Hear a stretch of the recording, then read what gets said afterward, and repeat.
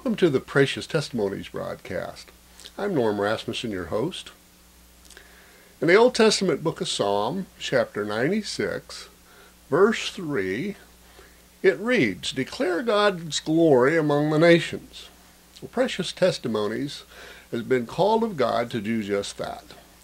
And we're to do that by giving born again Christians an opportunity to share what Jesus has done in their lives to the glory of God the Father and, of course, the Holy Spirit, and, of course, Jesus himself. And so, with that, we're going to let you hear some people sharing how uh, God has worked in their lives and what this Jesus has done for them and what he means to them. And I pray that this will be something God uses to either help you come to uh, a precious relationship with God or grow in your relationship with God.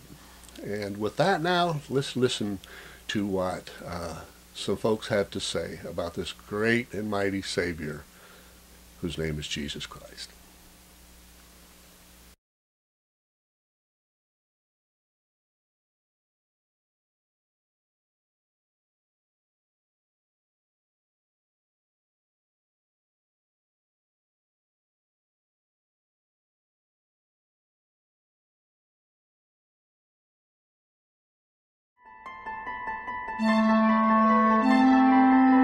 Hi, my name is Red. I'm 31 years old, and I was born and raised in Richmond, Virginia. My father was a pimp. My mother was a prostitute. Um, we got left in the crack house down Ruffin Road Apartments. I'll never forget that. I was a kid, but I still remembered. And uh, for the most part, my whole life, I grew up in foster homes, back and forth, in and out of group homes, running away. And um, this happened to be one of the homes that I was tortured and abused in as a kid. I was actually tied down to the bed, butt naked, with the window open on a cold winter night, just, and I scraped was, um, just beat up real bad with an electric cord, and uh, a couple times they put me in scalding hot water, so now it's to the point where I don't take real hot showers because it still bothers me. My sisters and brothers, they didn't go through so much abuse because I was being the bigger brother, and I stood, I stood up for my family. I got tortured more than they did because I was the one with the mouth and I wanted to make sure my sisters and brothers was okay. I got beat up every day going to school because of the color of my skin, because of the area I lived in, and it just was a whole lot going on. And uh, I didn't know how to get from underneath the problems that I was going through. I used to tell my father every day when he came through that I was getting abused, but he never believed me because this was a pastor and the first lady of a church. So he looked highly upon them like, you know, they would do no wrong. We used to have to go to church every day. We went to church so much sometimes I didn't want to go to church because it felt like we went to church every day like it was a school day. But uh, I used to play the drums, I used to sing in the church choir, do all them things. But once I started getting abused and going through the things I went through, it like it just stirred me away from that and stirred me away from God. And it changed my whole life, it changed my heart. I started off a nice, humble person and it turned me into an animal. One day I went to school and I had whips all over my body and I couldn't I got beat so bad I couldn't sit down in my seat, in my seat at school. And uh, I went to the principal's office and they took pictures of me and they ended up locking the family up and um, I never heard from them again. But when I was 10 years old, me and my father was sitting out the projects waiting on my brother to come outside and he come outside and we just see him talking to two guys and all of a sudden I just hear a shot and I look up and my brother brains is all over the front of our car, and uh, my dad out there crying, and I didn't know what to do. I'm hysterical. I'm just looking at my father holding my brother in his hand, just crying, and uh, a lot of real stuff happened out there where I live at, and uh, just growing up in these different areas, it just changed my mind and made me real evil. So when I went to school, I just lashed out real bad on the teachers. I disrespected everybody. I was, I just couldn't. I had no control. I just, I felt like the anger that I went through and the pain that I went through, I wanted to take it on somebody else. I wanted somebody else to hurt the way I hurt. As I got older, I started getting into serious crimes and breaking in people's houses. And I was robbing people for anything, just doing stupid stuff. And I got locked up and had to go to the penitentiary for five years. I learned a lot being locked up. Um, I learned a lot of trades and different things, went to school, but I still felt lost. Like, I took it as a joke. For the whole five years, I just ran around, played, got high, got high while I was in prison. And um, when I came home, I just thought I was better than everybody. I came home with the wrong attitude. I turned into a womanizer, and I, and I, and I didn't know how to treat certain females in my life because I never had that family. I always wanted a family. I never had one because my family was so disoriented. All my sisters and brothers, everybody split up in different homes, and my father, he still was on drugs. My mother still doing her. Even at the age of 50 some years old, she's still out there prostituting, doing the same thing, and it hurts me every day to think about that. And um, I just felt so lost. It just, I just felt like getting high was the best thing in the world. It just covered up all my pain that I went through and all the torture. And uh, every day, I just I just looked and thought that uh, things was gonna get better, but they didn't get better because I was running away from my problems. I wasn't facing them. But one day, one day, I got introduced to the Rock on Walk Road, and uh, I went from there. I just started working out every day and trying to find a new place to fit in. I still wasn't serious about coming to the church because for real, I still was thinking about a lot of emotional stuff that when I grew up in the church and a lot of stuff that I went through with the people from the church. And uh, it just was real cool to come to the church service and see that it was all different colors and races and everybody was getting along and it just felt like everything was real. Everything was different. It was like everybody was so loving and warm and wanted to see you do better and it just made me look at things a lot different. And plus, I just knew when I talked to Pastor G, it was just meant for me to come to this church because I knew in my heart that this was the right place. At first, I was just worrying about the gym, gym, gym. But I knew it was the reason why God wanted me to keep coming to the gym, which was to get introduced to the church. And He wanted me to be in some kind of church home. Eventually, I moved out of the projects and I talked to the pastor about moving to the RSUM. And uh, that was the best thing ever that happened to me. I just felt every day I woke up I was peaceful. I didn't have to wake up to gunshots.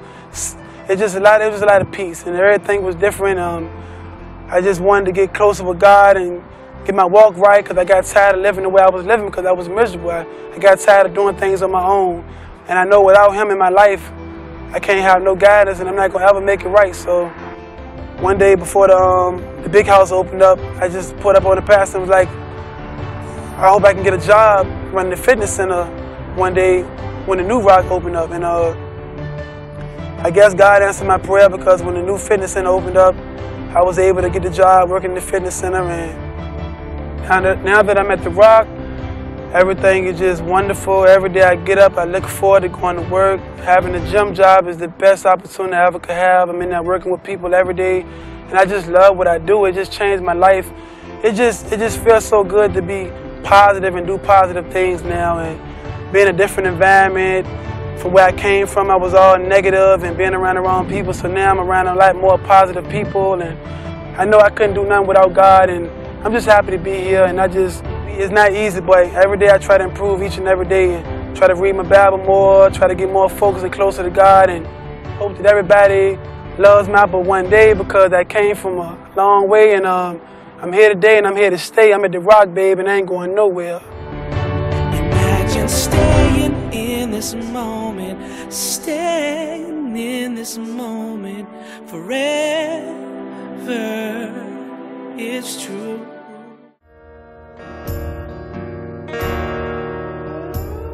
Grew up in Winchester, Kentucky. Um, normal, messed up, broken home childhood. My dad left when I was six kind of planted the, the seed of uh, not understanding right then why stuff happened. Uh, as I got older, you know, I looked up to some guys. My friends were older. I looked up to some guys, and they were messing around with drugs. I, I got involved with drugs with them.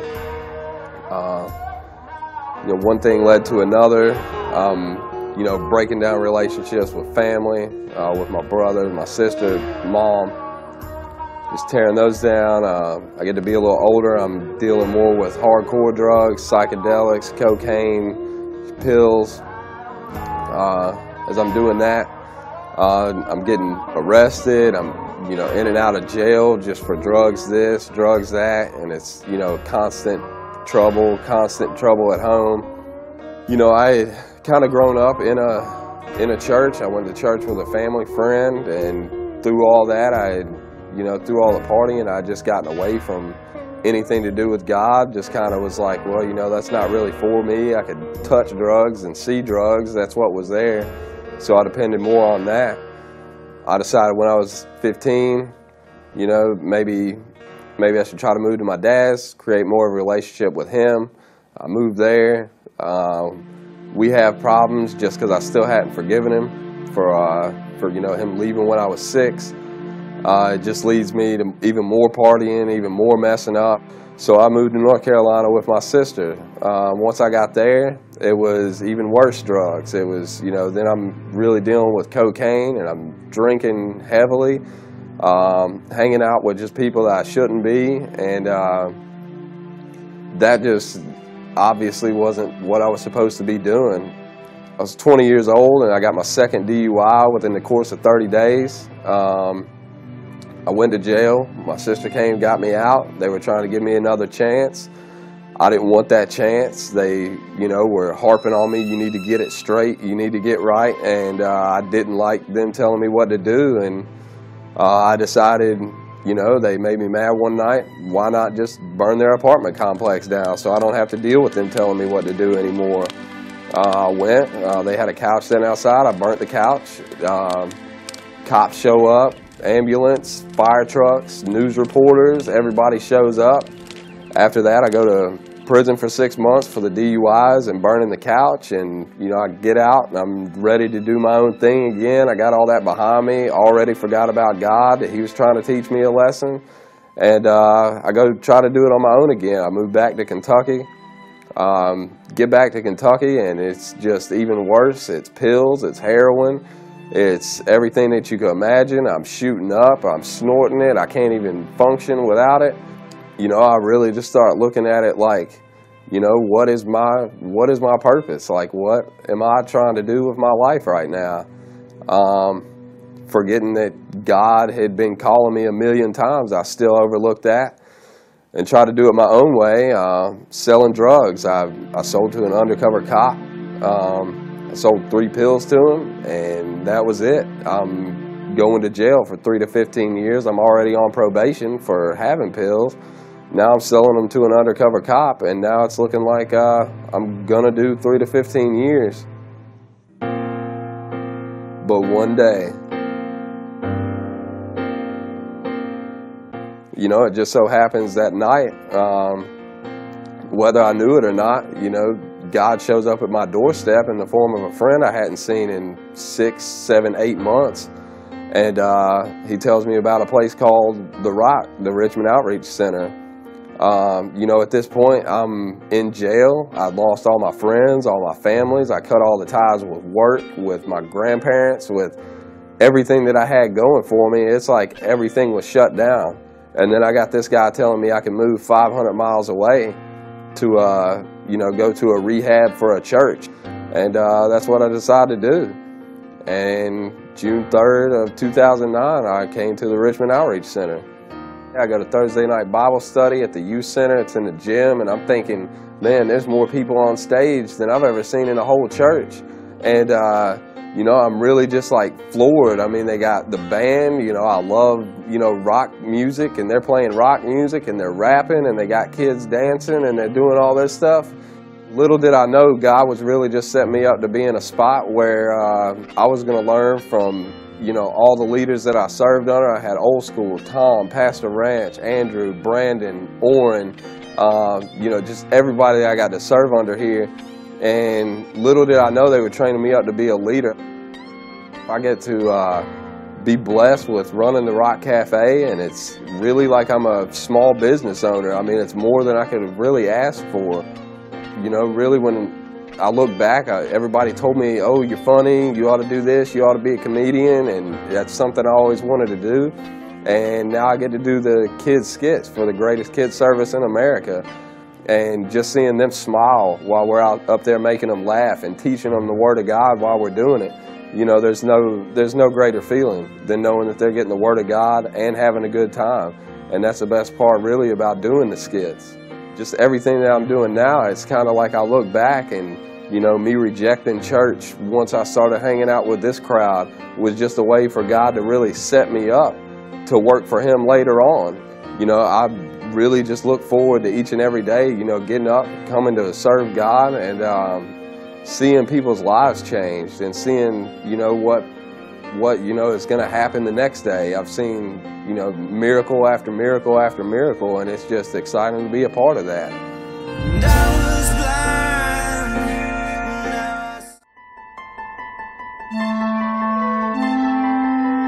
Hi, my name's Cam. I'm 32 years old. I was born and raised in Virginia Beach, Virginia. Hi, my name is Amber. I'm 32 years old. I was born and raised in Virginia Beach, Virginia. Okay, um, I started off half of my childhood in a Christian family. One day they baptized me when I was really young, and I actually thought they were trying to drown me. So that kind of really scared me from going to church because I had no idea what was going on. Um, I got my real boyfriend when I was about 14 years old. Um, he actually was two years older than me, so he was able to buy us beer and cigarettes for me, and uh, we just started partying a little bit. Uh, needless to say, I was pregnant when I was 18. Um, my dad was never around, so my mom was always at work, so I was pretty much rebellious. Around that time, that's when my friends started selling weed, and I wanted to sell something too, but not quite the same, so I started selling cocaine. And a little later on after that, I started cooking it, and the more I sold, the more people I met. And the more people I met, the different drugs I was introduced to, and I started trading them as I would sell to them. So, I mean, cocaine went to ecstasy, to acid, to, I mean, crystal meth. I just dibbled and dabbed in a little bit of all of it. Uh, two years after that, Chris passed away. Um, he had a heart attack. He was 27. I took his death very hard. Um, I was introduced to heroin, and that gave me um, life back almost in a weird way because it numbed me, and I didn't. I was able to forget about Chris and not feel sad. When I was about 23 years old, I met Amber. Along this time, um, I ended up meeting Cam, and he knew I was using heroin, but um, I kind of hid it from him. She began to get a little more sicker, I noticed at times, and that's when I found out she was shooting it. So every time I noticed she would shoot it, I would tell myself that I would do it unless she stopped. So that's how I got addicted to actually shooting heroin, and that carried on for a long time. Soon after that, though, we um, lost the place we were staying in. It wasn't long before we both were jobless and homeless. Um, we began doing whatever we could to get money to either get a hotel room and our drugs, and if we didn't have both, we were sleeping in the car because our drugs were more important at that time. After that, we started getting charges. Uh, I started going to jail. She started going to jail. You know, we were in and out of jail, it seemed like every week for something. After a while, just doing all the hustles that I used to do, um, they started running out. And when they started running out, I mean, it was just more cops and more everything. And like I had burnt all my bridges. I mean, I had no one else to talk to. It's just um, never going to end if we don't stop it. And now I'm pregnant, so what do we do?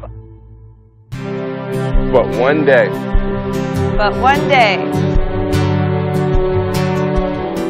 shortly after that, we started running with another couple who was kind of in the same boat we were in because we figured if we were with someone else, we could have a place to stay because it'd be less money. We'd only have to pay half for the hotel room and still have more money to feed our addiction. We did that for a couple months and then I guess the couple's parents, they got fed up with it and they're from Richmond, so they knew about this place called The Rock. And she told me to call the number. This place could uh, get us help. I mean, just we wouldn't have to do what we were doing anymore. that's when we just looked at each, each other, and within an hour, we were on the road to the Rock. And um, I know now that it was definitely in God's plan for me to become pregnant because uh, I don't think we would have made it here if I hadn't become pregnant. I really believe that. Um, When I pulled up to the rock, it almost looked like uh, a concert was going on. And when we got in, I was even more surprised. I was like, whoa. I remember just sitting in there and looking at all the different people, and then Pastor G comes out, and I'll never forget it. Uh, January 8, 2011, he was preaching the message on Noah's Ark and the boat and being shut in and shut out. When he did the altar call, something was just like, move, move. And I looked around, and no one else that was with me was moving, but something just kept telling me to move, move, move. And when I finally got up there, um, I don't really remember who it was, but I started praying with somebody and I just started crying in the middle of the prayer. So I came into the house of life. I stayed there up until I had Isaac. But before we had Isaac, we Pastor G married us on April 29th. Since we've been here at the Rock, I can honestly say we've been the happiest we've been in years. Um, we've been sober for a year now, and um, I just can't stress how much God has made that all possible. Because we definitely would not be here without God. I know that now, and I know that He's the reason why Isaac was born. He's the reason why we came to Richmond knowing nobody. We had no family here. We knew nobody. And everybody here at The Rock has opened their arms to us um, like we've been here for years. I mean, and it's just been a blessing. Everybody has been a blessing to us, and it's um, praise to God, really, for everything that He's He's done for us. Working with the kids, I've never um, done that before, so that was definitely God's will too to put me through with the kids, and um, we just thank Him every day for Him bringing us here and restoring um, our lives with our children and our families. And thank you.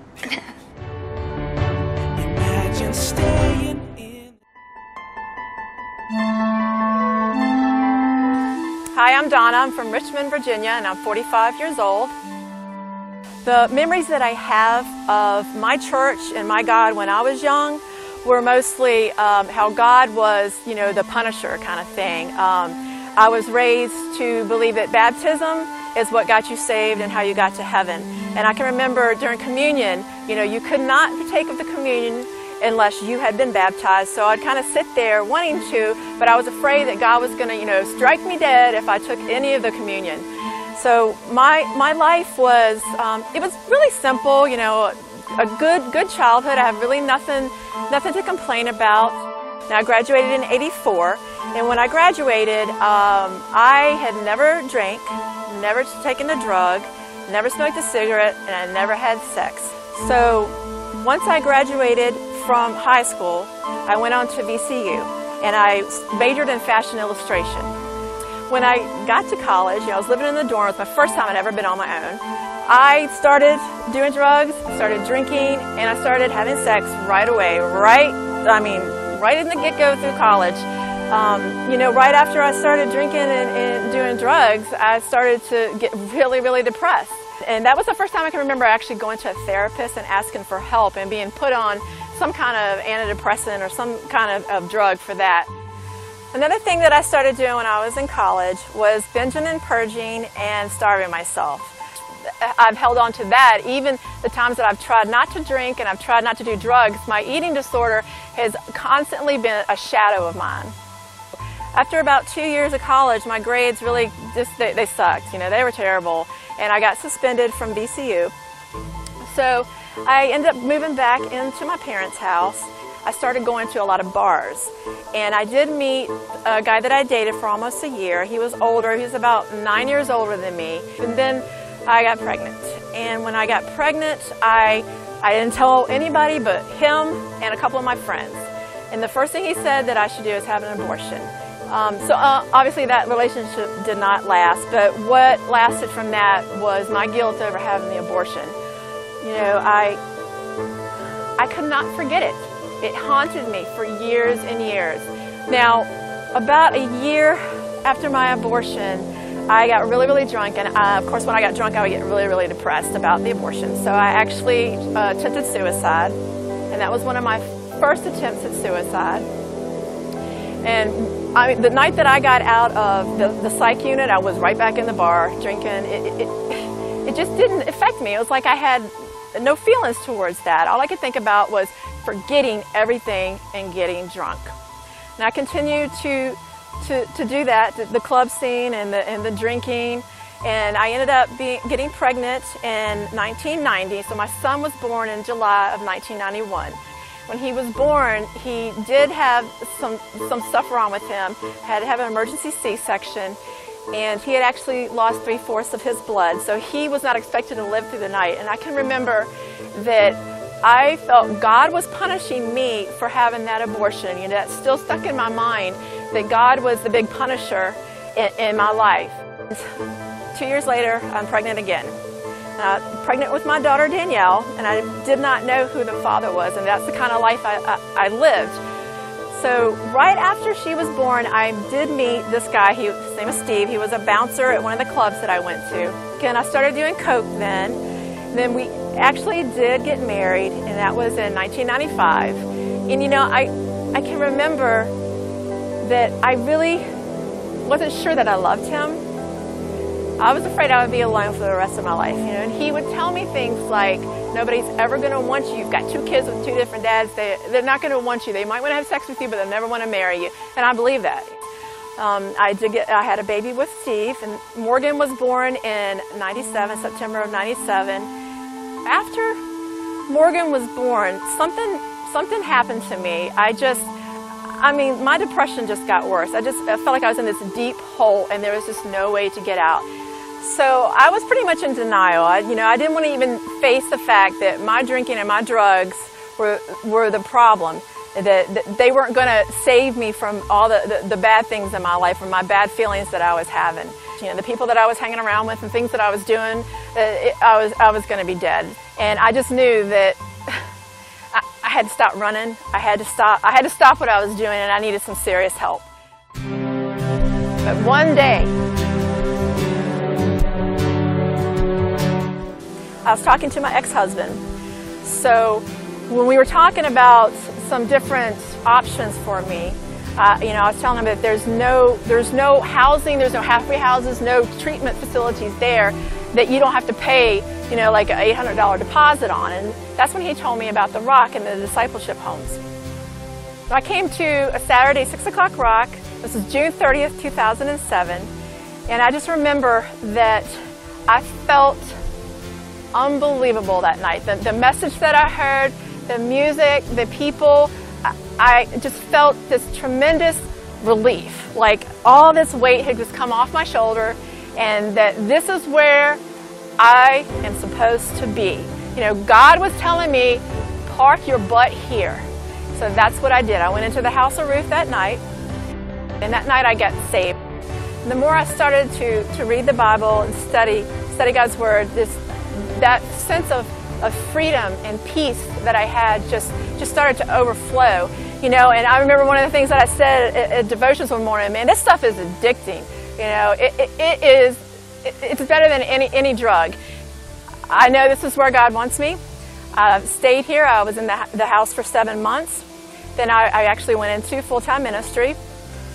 So God has truly blessed my life. He has uh, freed me from the bondage of drugs and alcohol, my depression, my eating disorder, you know, the, the, the crazy relationships that I had with men, that the fact that I needed something else in this world to make me feel like I, I was somebody, that God had just, that, that was a personal prison that I made, and God freed me from that.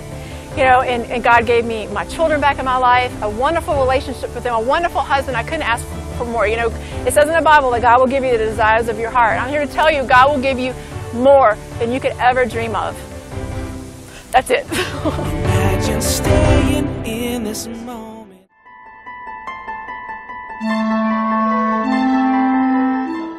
Hey, my name is Kyle. I was born in Chesterfield, Virginia, and I'm 24 years old.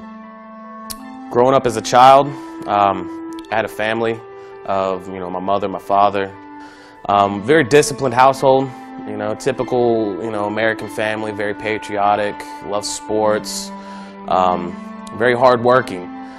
Um, but being the middle child, I, I, I struggled a lot trying to compete with my brothers and sisters. You know, trying to trying to get mom and dad's attention as much as possible.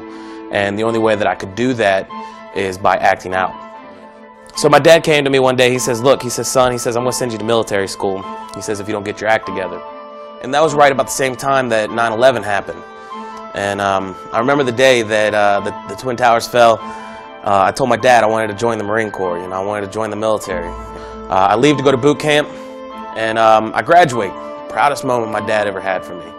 You know, I was a Marine. The hardest thing that you could possibly do. That's when I really started drinking. Is when I finally get to the fleet. Um, I started partying. I used to go out and uh, put down a $400 bar tab every night, and hang out with friends, and not get back until three in the morning. Then have to wake up at five and start running. Um, then eventually, I was introduced into pills, taking Percocet, OxyContin, sleeping around from woman to woman to woman every night with somebody different back at the barracks. Until one day, I, I showed up to work drunk. You know, I'd started actually putting on weight from all this, and um, this backsliding, not not caring about my parents, not caring about my job, not caring about you know nothing. And uh, we had this new lieutenant that came in, and he was he was telling me how to run the Marines. He was telling me that you know by the book, and, and so I looked at this guy and I said, well, who are you to tell me what to do? And uh, I, I was I was hammered, man. And I remember I acted out and I swung on him and I hit him, and uh, the MP showed up that day, and. Um, they they arrested me and they, they locked me up in the brig for a couple weeks and they came to my cell and I remember them telling me like well we're gonna have to ADSEP you out. You're gonna have to leave. You can't come back and you can't re-enlist. So I called my dad and I lied to him about the reasons why I left why I was being thrown out you know because I was ashamed of what I've done. And then I just kept drinking. I kept partying kept doing my thing. I didn't I didn't care about consequences. I cared about Kyle to a point where my parents didn't want me around anymore. They're like you got to go. You can't be here my dad said, hey, well, I know about this place. He says, son, he says, I, am born again. I'm all about Jesus Christ. And I would like to help you, son. He says, I know this place called The Rock. So he takes me to one of the pastors that he knew here. And uh, he sat me down and he introduced me to the Romans roads. And uh, I got saved that day. Well, I went to the house of Paul. And I remember what Tom told me. He says, he says this is going to be a culture shock for you, bro. He said, uh, you're going to struggle with a lot of things. And I didn't want to be here to begin with. And um, I'd been there for a couple weeks. I wasn't really here for the right reasons. You know, I still wanted to do what I wanted to do, go out and drink and just have fun, live the life for Kyle. And, you know, so I went out and I was, I was at work one day and I remember I ran my mouth to the wrong person, you know, just being completely disrespectful. And they could see my heart condition wasn't in it and they told me that I had to go. And so I went back to the house, I packed my stuff, they dropped me off at my parents' house. And I remember, I remember that night they told me, you can't stay here. You can't stay here. But one day, and it, it, was cold. It was it was like 10 degrees outside. It just started snowing. I was like, man, what am, what am I gonna do? So I just started walking. I'm in Chesterfield. I didn't know where I was going, you know. So I started walking to this building, you know, and I broke in and I started realizing that I'm not meant to be homeless. I'm really not. I'm not meant for this. So I, I, slept there overnight. I called the cops the next day and I told them, I said, look, I said, I want to turn myself in. I broke into this building. You know, I want, I want to be arrested. So I was sitting in jail and uh, the officer came around and started doing mail call. And I got a letter from my mom and uh, I started reading it. And it said, uh, son, I love you. If you don't get right with God, you're going to die alone. I broke down because I never realized how alone I really was until that moment. And uh, I had a Bible sitting next to me that one of the Gideons gave me. And I opened it up to uh, a famous verse that you know a lot of people know at the Rock. You know, it's in Acts 20:24, and you know I started reading it, and it said that you know neither I count my life dear unto myself, and that's when I realized that it's not about me.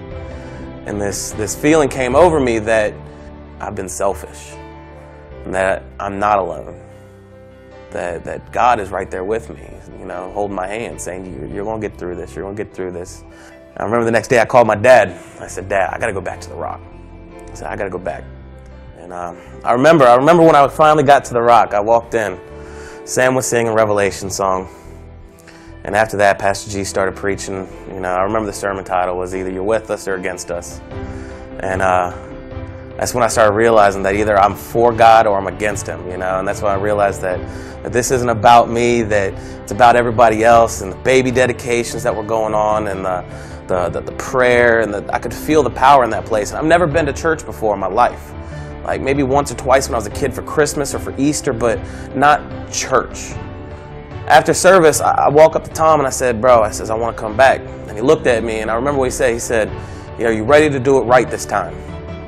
Uh, you know, he kind of had a smirk on his face. I said, "Yeah."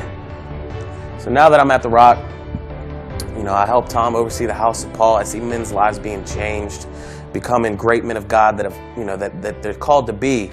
Uh, I help Pastor Arson run the youth center by, by helping him build baseball fields and becoming, you know, uh, a, a, blessing to the to the inner city kids to, to give them an opportunity and a safe place to be. Um, but I look back, I look back at my life and I realize that the life of selfishness and the life of drinking and partying and, and the drugs and alcohol was nothing compared to what God had for me and what He has done in my life. And what He's done in my life right now could never change my feeling for him or for anything else that is going on. I love what I do, and nothing in this world could change that.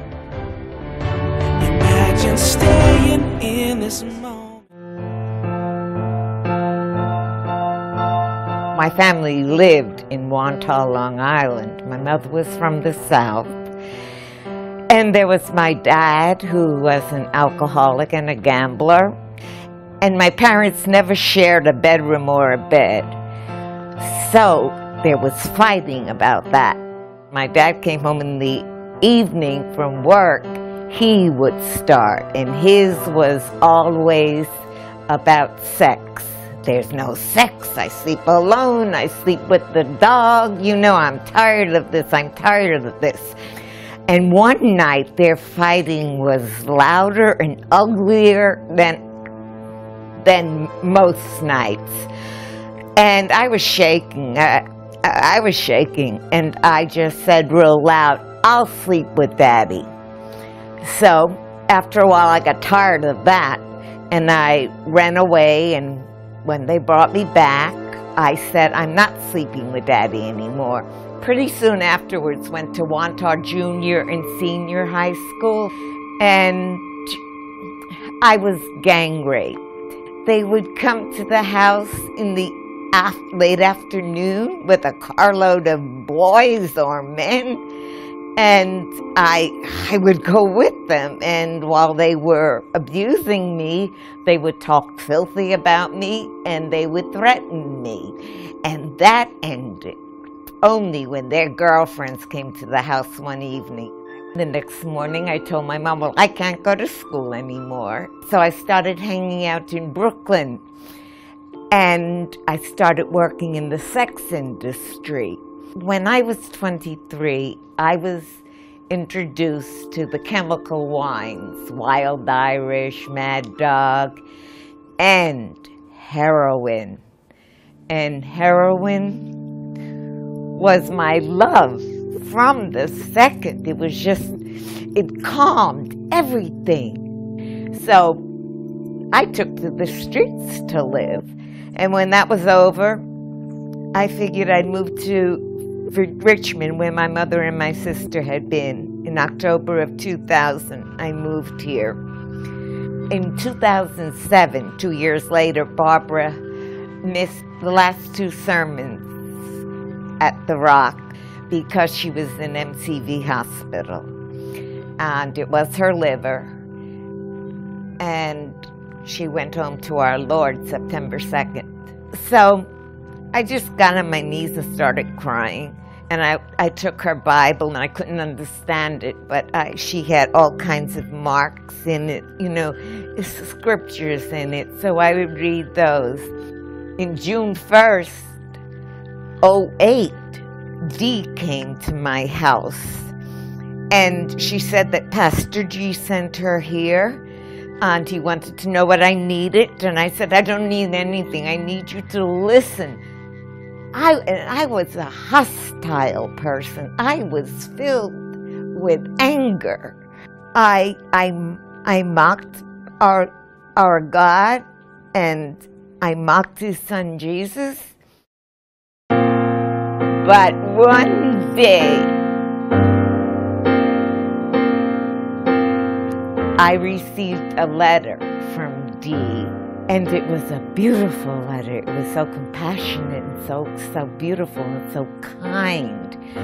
And one sentence was Pastor G says you must forgive if God is going to give you the rest and the peace that He wants for you. And I kept re- reading, reading that one line just over and over. And I thought, well, if I've got to forgive, then I've got to forgive everyone. Now I know it was the Holy Spirit, and I was it was painful and I didn't know what was happening, but I started seeing my life the way the way it really was and I had always seen it so different. With that letter in my hand and with all that Barbara had tried to teach me and all that I had read in her Bible, I knew, and she had said it again and again and again, the only way we get to heaven, God brings us to His Son, and then we accept Him into our hearts and give Him our lives. And and that that that all happened. I my sister was there, the people I had I, I had hurt so badly were there, and I saw all of it. Every every person I had ever blamed for my life, and it was all me, with my hatred and my anger, and I I even forgave the men who had raped me, and I started coming to the rock.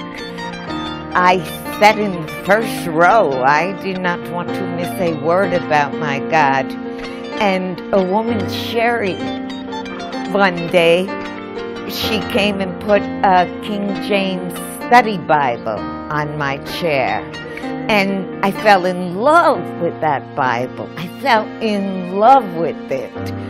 And um, I don't only read the Bible, but I pray and I read and I give and I go. And I love every second I am here. And um, this is my first church ever. And the Pastor G is my first pastor, and I love him and all the pastors. And this is my my my first Bible where it's it's it's such a so many stories, so many dramas, and so much sadness. And and and I and I just love it.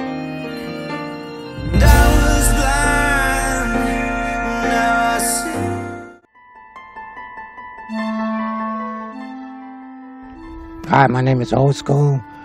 I'm from Charleston, South Carolina, and I'm 46 years old. Before I uh, moved to uh, Charleston, uh, I was a, not even a year old. My parents broke up. I had an older brother. He's 13 months older than me. Uh, my mother became a diabetic uh, the day after I was born, and uh, she was real sick, couldn't work. My dad really wasn't there, so my mother had a decision to make. She didn't want us to live with her parents because they were poor and uneducated, and she didn't want us to live that kind of life. So she decided to send me and my brother to Charleston with my, my father's parents, and they raised us. Uh, growing up, uh, I consider my childhood a blessed life. I mean, uh, we got everything we basically wanted. We got the best education from kindergarten to 12th grade. We went to private school. Uh, I got involved with drugs early on, around the age of 11, you know, started smoking weed and drinking. And, uh, you know, I just like smoking weed. I, I mean, laughing and eating. And I excelled in sports. And that's how basically me and my brother made our friends in the hood. Once they saw that we were just as good as them or better than them in sports, we became friends. Um, after uh, my uh, drug use really intensified once I got in high school, uh, like I said, you know, private school, the kids got the money and I got the connections in the hood, so it was a marriage made in hell. Uh, after uh, graduating high school, I had another decision to make. You know, um, I wanted to travel, I wanted to, to make money, and the next thing that came up to me was the military. So I went in the Air Force, and uh, uh, the first couple of years were great. I got to travel a lot, meet a lot of different people, and, and but I continued to, to use drugs, knowing the consequences. You know, if you get caught, and eventually you will, but I continued to use drugs like there wasn't going to be any consequences. Um, and finally, I did get popped. Eventually, that caught up with me. Again, I got caught on another drug test, but this time they found cocaine. Uh, during that process, I uh, got introduced to cocaine by my mother's sister's husband. He was a drug dealer down in Savannah, and we were close uh, as far as distance go to where I was stationed. So every weekend, I would ride down there and, and uh, do my thing and bring the drugs back to Warner Robins.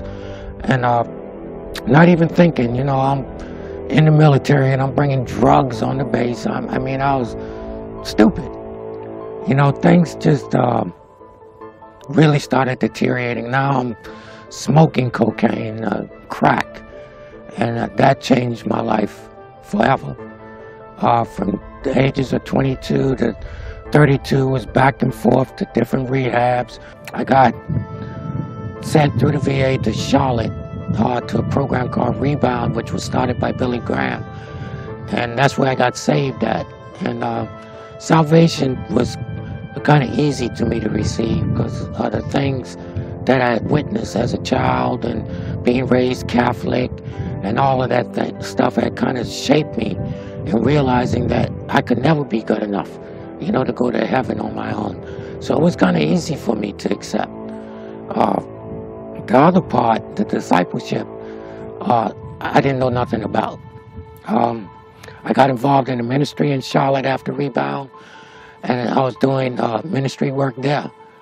And, uh, you know, they hooked me up, me and this other brother, with a place to live, and we did ministry work. We worked for the church. And uh, pretty soon, you know, both of us started using. And it was always something missing. I couldn't never figure it out. You know, I'm saved, uh, I'm feeling good, and all of this stuff, and I just couldn't figure this thing out. But one day,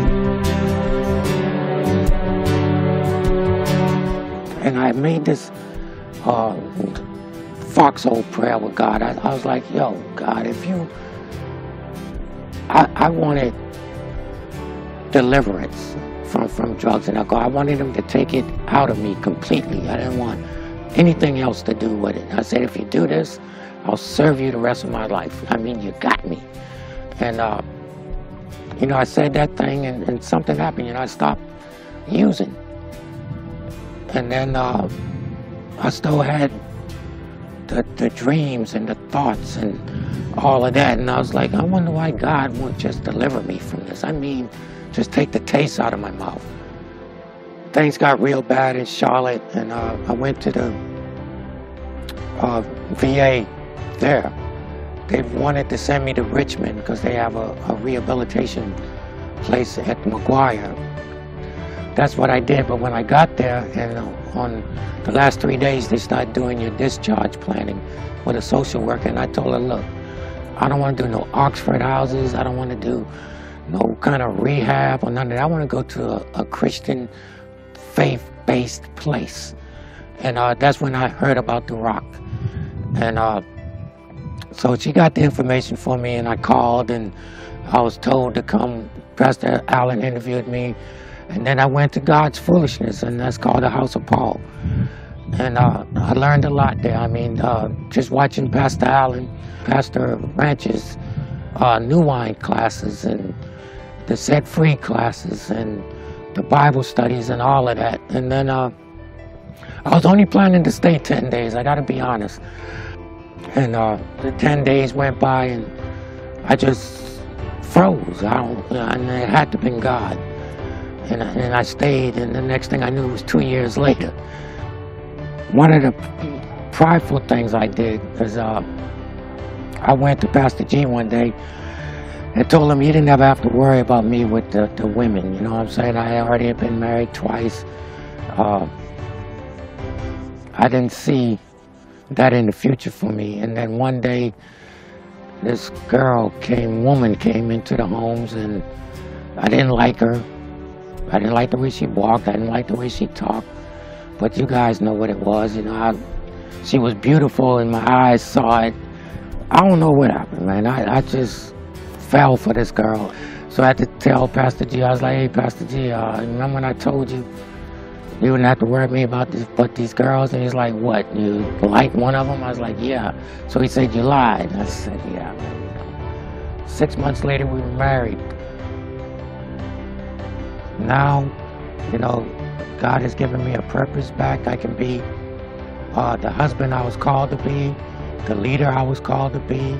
Uh, I just enjoy doing ministry. I mean, I, I just can't see doing anything else. Uh, I'm not uh, immune to the the things you know that go on in everyday life, but uh, I know that God's got my back, and that the people at the Rock uh, want the best for me. And the only thing I can do is, you know, try to be an example to others. And I hope my story can help other people. Imagine staying in this moment. Stay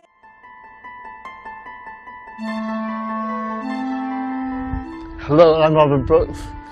I was born here in Richmond, Virginia, and I'm 47 years old.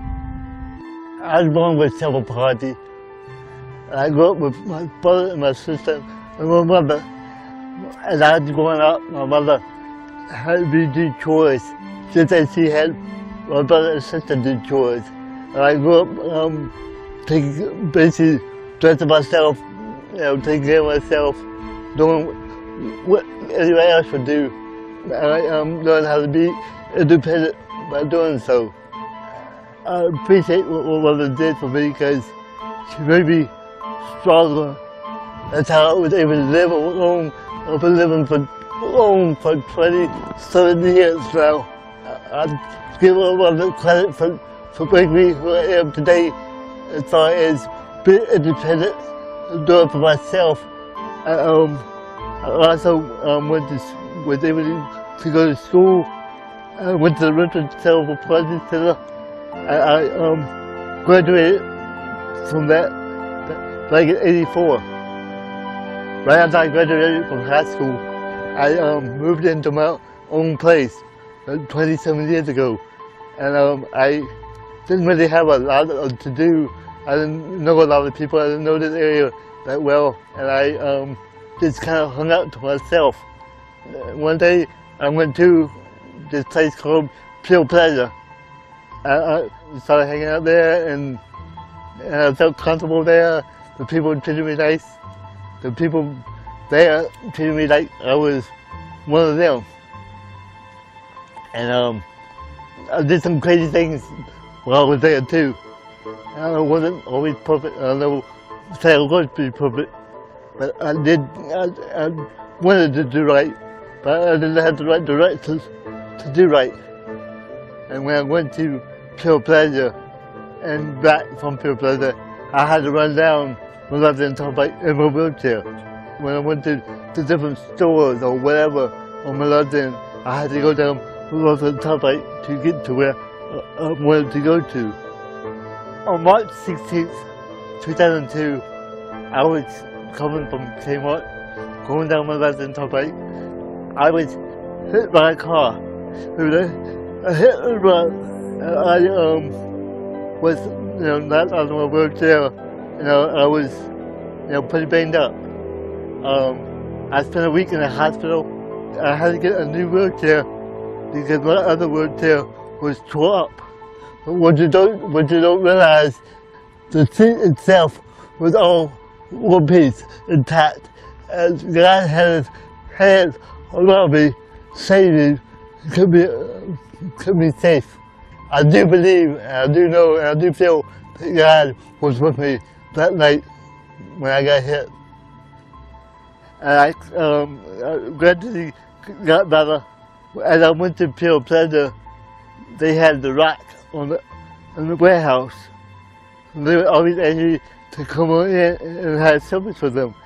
So I would leave the club and they would have church services right across the street.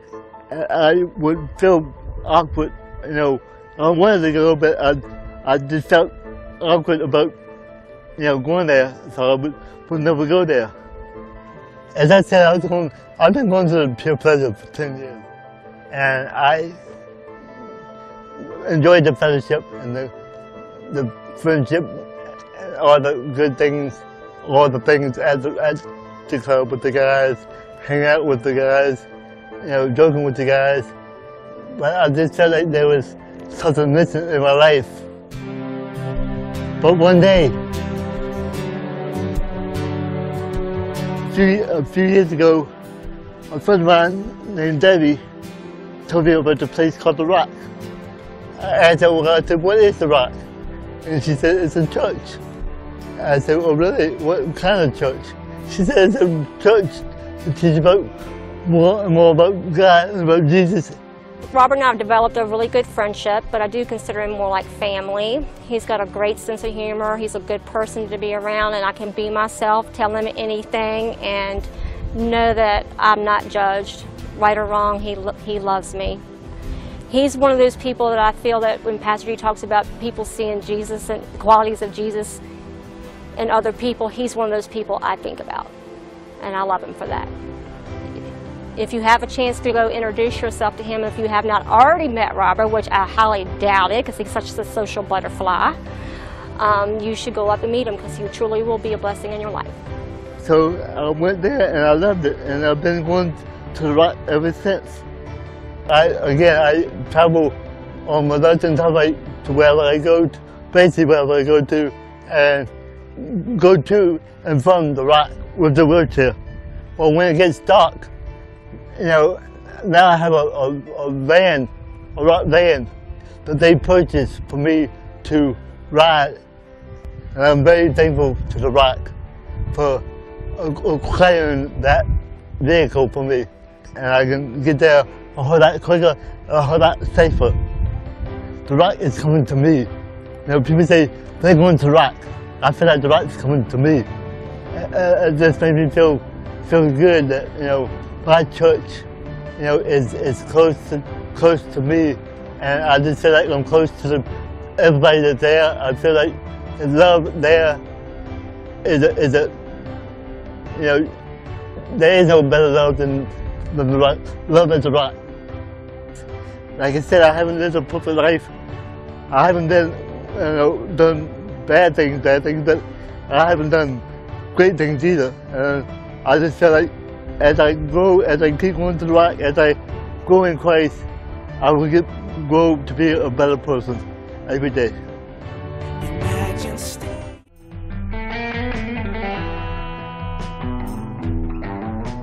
What I remember most about my life is a struggle between God and Satan for my soul. One of the first memories I have is sitting on my front porch and um, thinking about God and how God was love and uh, He created everything and that He loved me. I can remember being 14 years old and uh, telling God I was going to go my own way for a while. I spent basically um, the next 30 years um, going into darkness, going into it as far as I could get into it, just trying everything to replace Jesus. I thought that my body was my own and I did with it whatever I wanted to do and um, I put needles in my body. I uh, drank like crazy. I um, shared my body with anybody I wanted to share it with, and uh,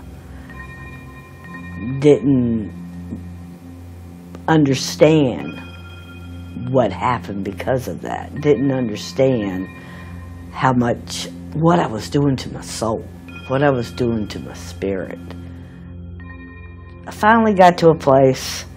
Uh, I was married twice, um, divorced twice. Uh, I um,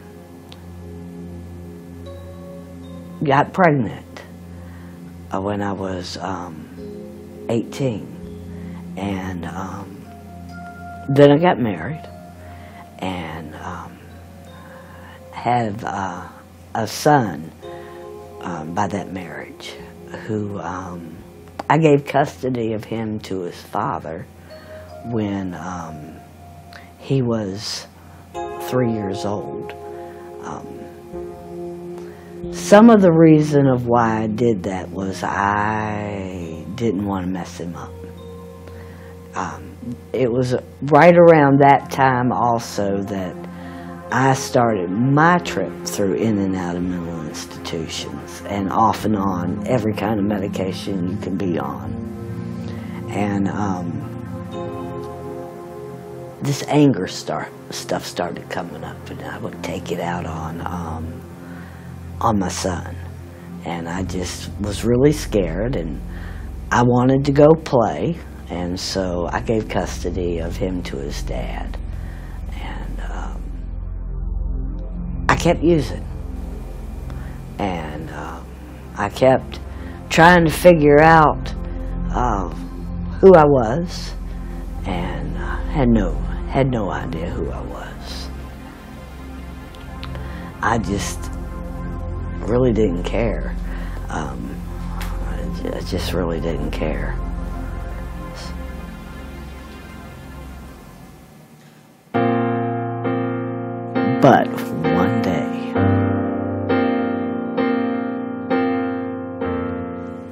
I ended up going to an outpatient treatment, which meant that I could still go to work. And um, I was going to meetings. That was part of my requirement with the outpatient. And I ran into somebody in the meeting that I'd known for 20 years. And so, um, you know, he gave me his phone number, and I was talking to him on the phone one night, and um, I said, What are you doing? And he said, I'm reading the Bible. So I said, Well, what's the, you know, that that's good. And he said, Well, you should go to the rock with me sometime. And so I said, What's that? And he said, Well, it's a place where there's a message and there's music and there's fellowship and, you know, it's, it's a real good place. You ought to try it. And I said, Can I bring my kid? And he said, It's all about kids. So I came to the rock. And I can remember sitting there and um, watching these people sing and thinking, what is this? What have I walked into? But I thought, okay, this, this is good. This is good. I like this. And then uh, Pastor G started talking. And I'm, I'm thinking, okay, God, what do you got me back in here with all these Jesus people for? What, what's going on here? Why do you have me back here again? So I walked up there and I get uh, to the uh, altar and I said, okay, I'm already a Christian, so I just want to rededicate my life to, to God. So guy looks at me and he says, okay, but can I ask you a question? And I said, okay. And he said, if you were to die tonight, are you 100% sure you would go to heaven? And I lost it. Started crying like I hadn't cried in years. Don't know where the tears came from. I mean, I'm sobbing, crying. It's like, no, I don't know. And uh, something happened that night. Something happened at that altar. It's um, okay. Now that I'm at the Rock, I am involved in um, working with women. I get to work in the food pantry. I'm in the choir. I'm a lady warrior. I'm a prayer partner. Um, I get to uh, praise Jesus all day long. I get to glorify Him with every minute of my day. And uh, I had no idea that life could be this wonderful. God promises that He is able to give us exceedingly above and beyond what we can think or ask.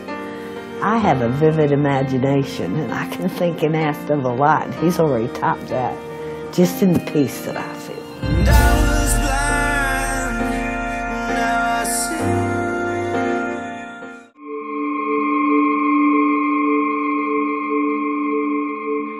I was born and raised in Richmond, Virginia in 1995. My childhood was a little crazy. Um, my father left before I was born. My mom got pregnant with me when she was 18. Uh, it was just I lived with my grandmother for most of my li- for the first few years of my life because my mom suffered from a crack addiction for a while. Um, she got it. She got everything back together and met her boyfriend from way back in middle school, and they got married. He was a like mentally abusive alcoholic until I was about the age of 10, and that scarred a lot of bad memories into my head from just him threatening to leave to him going to kill himself, and that stuck with me through everything. So I had a, a ton of anger built up in my heart from my childhood all the way up until I was a teenager. From I had 14 years of hate for my father who left my mom. I just couldn't understand why he did it, and that destroyed me. And it just I had so much anger from that to where I just I told my mom I just I was like I want to kill this guy, and I didn't even know him, and that ate at my heart, and it just it made me more prideful, and that hurt me more in the long run too. I wasn't I wasn't really involved in any church growing up. My mom tried to get me involved, but I tried to pull away from it as much as I could. Um, school didn't really help any of my situations at the time. Uh, science, especially, it introduced me to evolution, and I was kind of naive. I was thought that if a teacher taught it, it must be right and true. I just I never wanted to have God in my life. I just wanted to find a way to get him out of there and prove him wrong. I guess just to be stubborn at the time. Mm, My grandmother told me about The Rock when I was about 11 years old. She told me that they had a cool skate park and I would love to go, and I was like, all right, I guess I'll try this thing. I wasn't really much of a fan of the church thing, but I was like, I'll check it out because it's something I like to do. I just thought it was a free pass to heaven. I could just take advantage of it any way I wanted to.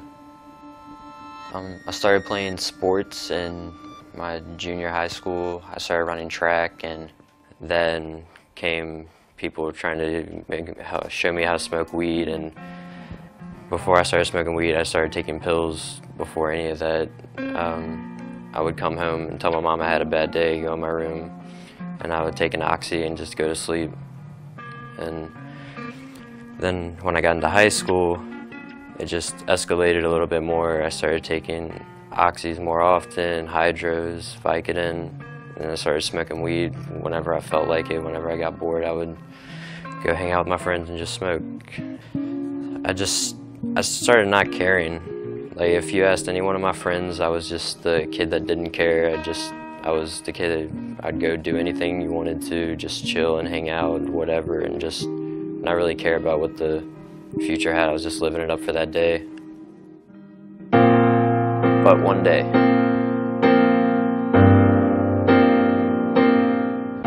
mom came home one day from to get me for Saturday service at the Rock, and she told me about the bus ministry she did that day, and she told me that she wasn't really giving me an option. I had to go. I had to try it, and I told her I like I kind of fought it and tried to think of an excuse to get out of it, but I kind of just accepted it, and I said all right. And I remember my first time doing it. It was the first week in November, 2010, and I was on Gilpin's bus, and it was crazy. Just the kids, they were all excited about coming, and that was the first time I was ever in any of their neighborhoods. Just, and it made me really respect life and to see that they were struggling with so much more than I was. That their parents were smoking crack and getting high all the time, and they some of them didn't even have parents at home to watch them. They were just getting on the bus because they were allowed to do whatever they wanted to. So it made me realize that what I had wasn't like what I was going through wasn't as big of a problem as what they were going through, and I could kind of relate to them, and I could help them, and I could talk to them. Just I could be myself and help mentor them from what I did know, and that made me feel good about myself for once. I just started coming every single week. Like I loved it. I started doing the kids' Christmas party, and that was some of the most fun I ever had. Like, it was just a blast because all these kids they were just so happy to come see people that loved them, and then they loved us back. And Like even if we were having a hard time at home, these kids made us feel like there was nothing going on. Like they almost helped me escape the reality and it wasn't using drugs anymore. It was joy and happiness and it was amazing. Um, after I kind of hit my low with everything in life, I kind of just, I turned to God for everything for the first time in my life. I finally got into reading my Bible and that's when my life really started changing. My mom is, she's been like my best friend through everything because she had me so young. She's always happy now and that's, that's all I've ever really wanted for her is just for her to be 100% happy and that's what The Rock has given her. Since I've been at The Rock, God's just blessed me with this amazing family and they support me in everything I do. I have the greatest pastors ever. Pastor Andrew's been like a, a dad to me. He's mentored me so much. He answers any questions I have and he's just, he's always there to talk to and it's fun and it's different because he has tattoos. It's just, he's not the normal guy you'd see, uh, see as a pastor and that's what I like about it here. It's amazing. I started living my life like I was supposed to for the first time ever. And my life got good for once. It was just a good and everything was going right and I was happy and everybody around me was happy and just like everything was going straight up and it did.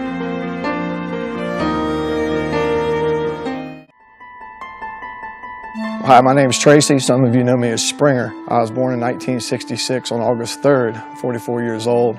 My life was, uh, I had a good life as a child. It was, it was a farm life. Um, my grandma and grandpa lived across the street. My uncles and my cousins all lived down the road. I had my dirt bike and I was a very outgoing kid. I liked to run track. I met up with some of the wrong people and uh, started drinking at a young age and uh, experimenting with other drugs. I had a motorcycle accident uh, when I was 21 years old and uh, it, it put me in the hospital for about a month and a half. Um, God seen me through that. After that, my health really started going downhill. But, you know, I continuously, continuously drank. It just, it was tearing, tearing everybody apart. My mom, she prayed for me all the time. I know she did. I didn't care. I was out drinking, got really drunk, and I went by my ex-wife's house with a 38 pistol. I went behind the house.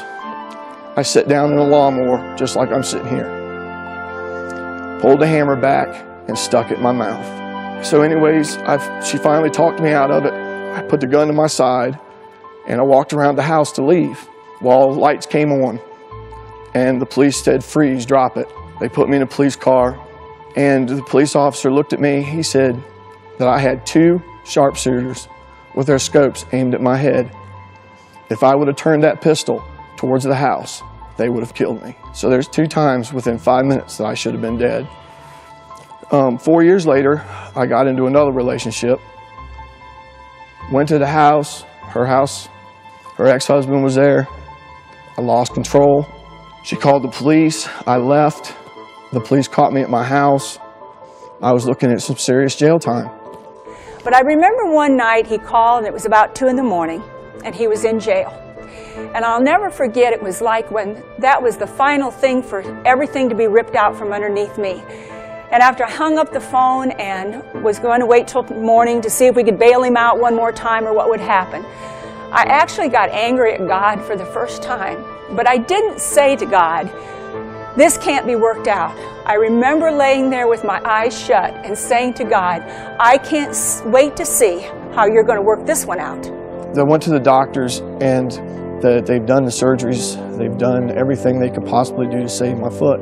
And they said I was going to lose it. That was devastating. I didn't know what to do, what to think. I, I didn't, I was lost. But one day, well, when I got out of jail, I went straight to the House of Paul right after Christmas. I got kicked out of House of Paul after 30 days, but I wanted to stay in the ministry. So I came up here to Hanover Vegetable Farm because I was coming here through the House of Paul. And I knew Jeff, and uh, Jeff worked it out where I could stay in the ministry. You know, coming to the Rock, I was doing everything, but there was still that battle. And I th- think that battle will be waged the rest of my life. And it's just a matter of me saying, in the name of Lord Jesus Christ, Satan, I rebuke you constantly over and over. They taught me in the house of Paul, Romans roads. Romans roads uh, is not only good for soul winning, it's good for everyday life. I repeat it in my head all day long.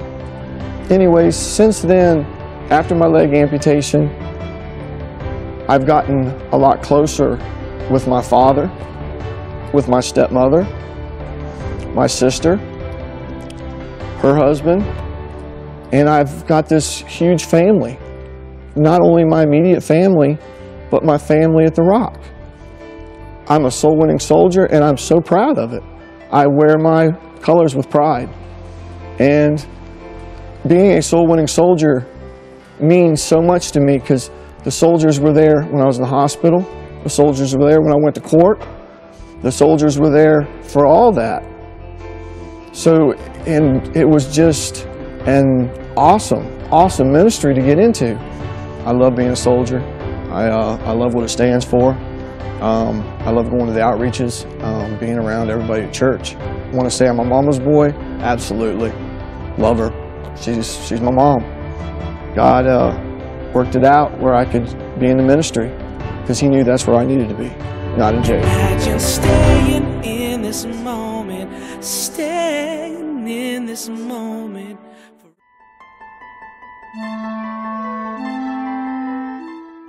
Hi, my name is Whitney, and I was born and raised here in Richmond, Virginia. Both of my parents have been in my life, um, have been very active in my life, and they were very loving and giving parents. And I'm very thankful that I had that structure in my life. I had a pretty normal teenage life. I was, you know, a very reserved teenager. I was, I was very active in sports and um, other, you know, um, things after school, extracurricular activities, that sort of thing. Um, never really got in trouble. Um, stayed to my family and my friends. You know, went to the movies on the weekends. It was a pretty normal life. When I was 14, I got saved. I was very active in my youth ministry at my church. Um, took summer trips to go out and talk to others about God and. Um, those were very, very important trips in my life. Um, just taught me a lot about God and who I was as an individual. Um, so I've been very blessed, and um, God has done that for me. And then um, I eventually um, got married and um, to um, a wonderful man. Um, I fell in love with him. We dated for four, almost four years. And then we got married. Um, and as the years went on, he um, got involved in um, alcohol and drugs. Um, I had started drinking or had been drinking. You know, we went out and did things, partied with others. Um, and his just got really, really excessive. And not realizing that, one of his bosses came to me and said that we needed to sit down and talk to him about it. So we did so. Um, and I told him that he needed to make a choice. And his choice was to go in the back room and pick up his laptop, a set of clothes, and a bottle of liquor and leave. When Jay left, I was absolutely devastated. And I felt like the only man that I ever loved had just left, and I just didn't understand it. Um, and that was devastating to me. I felt like I had um, failed at my marriage. I had failed. You know, I compared myself to my mom and dad who had led such an awesome life and I was starting to get angry at that time like I didn't understand like I was angry at God I didn't understand why my husband had left and why he was so sick and and I really did I, re I really just started to make my own choices. I didn't lean on God anymore. Um, and I lost myself. I lost who God wanted me to be. Um, and I got involved in a relationship where I was introduced to cocaine, which eventually took me to smoking crack. Um, and that was, that was really um, I, I lost all concept of anything. I didn't care about my family anymore. I didn't care that girlfriends didn't want to have anything to do with me, that my brother didn't want to have anything to do with me. I was numb. I was completely numb. And um, after getting high that first time, I chased it, and I chased it hard for two years. And in that two years, I lost my family. I lost my home. I lost my friends. And I lost myself and God. But one day, back in October, had called one of my girlfriends. I didn't have a place to rest my head that night, and I called one of my girlfriends, Kristen, and by the grace of God, she answered the phone. She um, was on her way out to work. It was in mid-afternoon. She was on her way out to work, and she answered the phone, and I said, Kristen, I really need help and somewhere to stay. And she said, well, come on and get the key to the house and you can stay here for a little while. And um, from there, you know, she stayed in contact with my mom and dad and let them know that, you know, that I was doing all right. Um, you know, I was, I was, you know, trying my darndest not to, to get high at that point. And eventually I came back and lived with my mom and dad. Um, my mom had been fellowshipping with, um, having fellowship with another woman from her work, um, and she had actually talked to my mom about um, the rock. Um, and then when I did come back home and live with my mom and dad, you know, I wasn't I, I, I wasn't of clear mind, and um, and I stayed with them. I'd you know go out on my binges for you know three or four days at a time, make them wonder where I was. They were seeing it you know up close and personal, right there in their face at the time, and that was just devastating for them. I took it upon myself to take their vehicle because I wanted to go get high. And then Richmond City picked me up a week later in their vehicle and arrested me. And they took me down to Richmond City Jail. Um, and I was um, locked up for 13 days. God was definitely humbling me at that point. Did I understand it? No. I mean, I was calling my mom and dad, please come get me. And they were like, no, we're glad you're there. You know, you need to, you really need to think about, you know, what's going on. You need to think about what you've done. Two days after I got out of jail, I went into intake and um, I came into the House of Mercy. When I first met Whitney, um, she was like most disciples, her life was in, in disarray and really needed the Lord to do a healing um, in, for Whitney and for her family. Whitney was a total delight. God did a total transformation almost immediately in her heart. I believe that Whitney got what she came for at the Rock, a personal relationship with Jesus Christ, which has forever changed her life. God has done so much in my life. It is so amazing the peace that He has put in my life and where I am today. Um, to laugh again, to love again.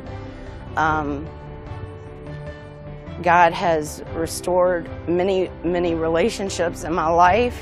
Number one being God, being number one, but most of all, the most important was my mom and dad. And God has done that.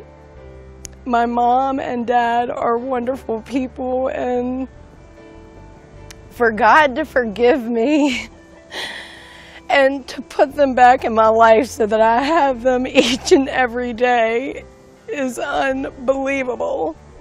Imagine staying in this moment, staying in this moment forever.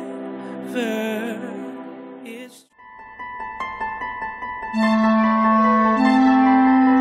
Hi, my name is Tony. I'm 28 years old and I was born and raised in Richmond, Virginia. My parents were um, addicted to drugs. Um, you know, their lifestyle revolved around drugs and alcohol. Their drug of choice mainly was heroin. And um, at the age of two, um, one night my dad came home and um, was strung out and didn't have any drugs and uh, beat my mom to a pulp and killed her. Uh, my dad uh, went he went to prison um, probably for a good two three years and then after he was in prison. Um, he had died. Somebody found him, found out that he had killed my mom. So my aunt and uncle took us in, um, took us in and adopted us, and we moved to Richmond, Virginia. And uh, that's where I met my best friend, Jared Mullins. Uh, me and him lived a lifestyle, uh, partying uh, every day from uh, sun up to sundown, going to school. Um, that's when we got um, in trouble a lot uh, through school, um, doing drugs. Uh, first started out smoking pot, um, and then you know later on after that we uh, traveled to cocaine, and um, you know I've done the the mushroom air. You know I've done acid. I've done all the drugs there is to name. You know, uh, the, one of the worst times that for me in my life was uh, the main one where I started losing myself and giving up was um, when I lost one of my best friends, uh, Brandon Jenkins. That was the bottom for me. Um, it was the bottom for me to uh, lose somebody like that. Um, took a toll on my life. Um, well, after he passed away is when I slipped back into my addiction. Um, I partied more. I was further into my alcohol uh, addiction, my drug addiction, led to uh, cocaine, crack, and I finally found myself drinking about four cases of beer in one night. Um, doing all the drugs I could to ease the pain of uh, one of my lost friends that I know I was never going to get back. Um, my addiction was so bad at the time. I really, I was lost. Uh, I had no relationship with anybody in my family. I lost all my family. My addiction was close to about four or five hundred dollars a week. Um, there were some nights that I've spent uh, up to three hundred dollars on, you know, doing drugs. I lost all, every single bit of life there was. You know, I wanted to uh, get help, um, to seek, uh, to seek help, but I was so scared and I was so caught up in my addiction um, that I, I really didn't care. I just wanted to die. But one day, but one day, um, I took I took the decision and I called my best friend. I said, Jared, I said I need help. Um, I can't live this life anymore. Um, I need I need somewhere a positive a positive function. I need somebody uh, to, to teach me, to guide me. And he said, look, man, he said, I'm on the way. Um, that night, Jared picked me up. I went to where I was staying at, grabbed my belongings, and he took me to the rock. And he said, Tony, he said, these next six months to determine what you're going to do with your life. It's up to you to decide what you're going to do. Um, so I did the best thing I could do, and I just you know, I'm gonna go forward and see what this this person God's got to offer. So I go to the rock during service. Pastor G was preaching, and he said we're gonna do an altar call for everybody who doesn't know and have a personal relationship with Jesus Christ to please come forward. And after I got saved, I cried out to God, and I finally accepted Jesus into my heart. Um, all that pain. Um, all the affliction, all the everything that I went through from you know losing my losing my mom and losing my dad, uh, losing a relationship with my sister, um, and I'm all getting that back now. Um, you know, me and my sister's relationship is being restored. From there, it was, you know, what am I gonna do? Where am I gonna what am I gonna, you know, how am I gonna do this? Um, well, you know, it's you got to give your life to Jesus Christ. You got to you got to have that faith and you got to have that trust in in what He can do with your life. Well, I didn't really know who God was until you know I finally started opening up the Bible. Um, now I am uh, I'm still at the House of Ranch. Um, I'm involved in some of the ministries at the ranch. I work at the Hanover Vegetable Farm with Jess Sears, a great guy, great mentor. Um, he's just been a blessing in my life, and I just want to give thanks to him, uh, his whole family, uh, for supporting me and making me feel like a positive person again. I work with a good group of guys at the farm. Um, I just work there six days a week. On Saturdays, I'm involved with the kids' bus ministry. I do the kids' bus ministry, and then I do the adult ministry on Saturday nights and pick up all the adults for church. Um, it's just a blessing to, uh, you know, to have all these things and, and, and live for somebody that who does care for you, who does love you, and there's no better high than Jesus Christ high.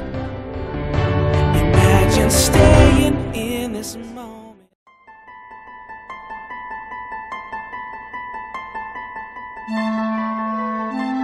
Hey, my name's Brandon Lanny.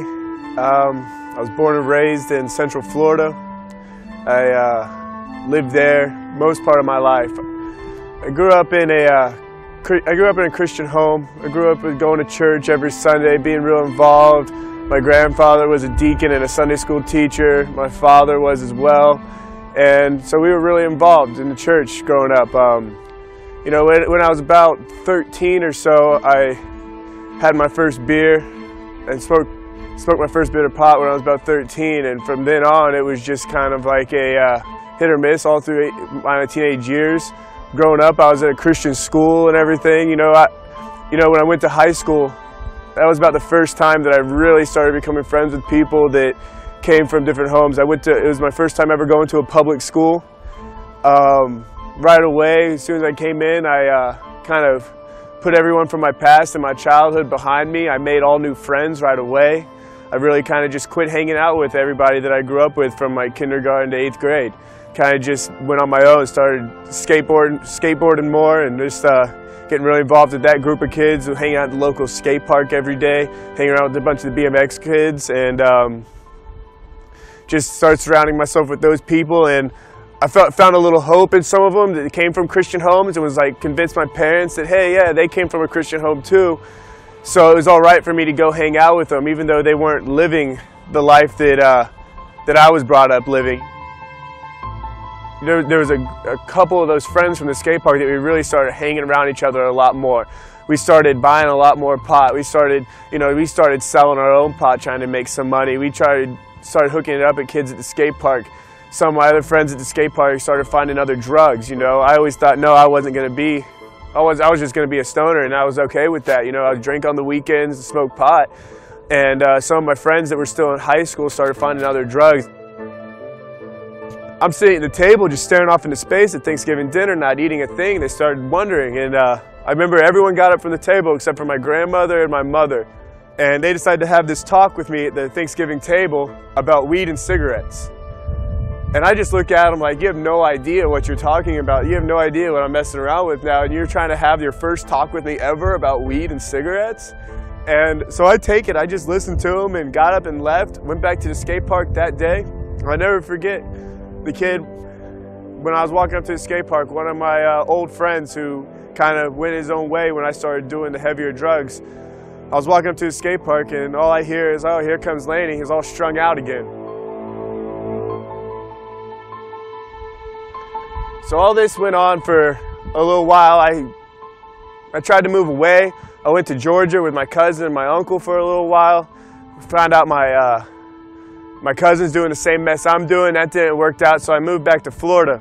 Lived up in St. Augustine and uh, stayed there for a few years. You know, I, I found a nice little hole in St. Augustine. I got away from the drugs for the most part.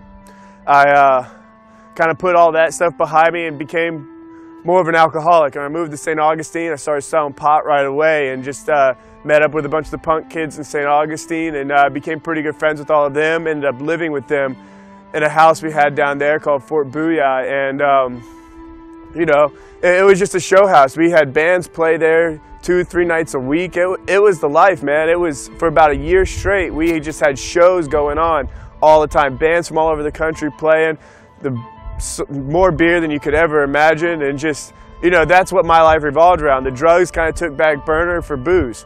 And, um, and that's what my life turned into. My life turned into a nonstop party at that point. You know, I hopped a ride when I was drunk one night, got a ride, forgot how I even got to Richmond. And then uh, a second time was about a week. Kind of did the same thing, just hopped a ride up to Richmond. When I was in Richmond for four months is where I met, um, is where I met my, my wife. I, I met Ashley up here. And um, so I went back to Florida, and while I was back, like I talked to her a bunch and had to come back to Richmond to, to be with her pretty much and I was like I gotta go back but one day so when I came up between the time that I left and came up she got involved with the rock and uh, she said the only way she would hang out with me is if if I came to church so I said okay and I came to uh, I came to my first new wine class with Ashley with Pastor Ranch, and uh, I fell in love with it right there. The past two years, God's really blessed my life. Uh, I ended up marrying my, my wife, Ashley. Um, we just celebrated our first year anniversary back in August, and we have a, we have a baby on the way due in February. You know, I'm an, I've been blessed with the, to be an overseer of a discipleship home. So summer 2009, Pastor G allowed me to start a, a bicycle outreach where uh, it started out originally just going out into uh, with the, the, Rock on the Road outreaches and doing free bicycle repair for the kids in the neighborhoods. But right away we saw it was a big hit, so he allowed me to just make it a weekly thing through last summer and last fall, and we watched it, and we were able to fix just last summer and last fall about 300 bikes for kids. So, so we were able to get a, a grant this past year where we can get more parts and more more stuff to fix bikes for more kids and. Uh, we, we've been able to, through that to give away a, probably over the past two years uh, close to 100 bikes or so just to give away to kids who don't already have bikes. You know, I'm, I'm serving at the big house every day. I'm just living my life for God, you know. It, it's, it's, it's awesome what God's done in my life. And, you know, you live your life for Him, He's going to bless you. Imagine staying in this moment, staying in this moment forever. It's true.